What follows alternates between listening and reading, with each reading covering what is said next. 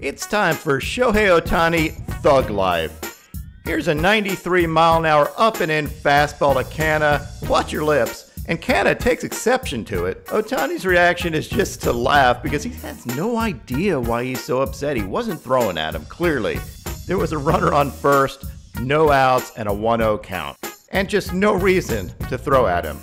Later in the at bat, Ohtani wins. He gets that sword, strike him out, throw him out, double play, and Ohtani gets the last laugh.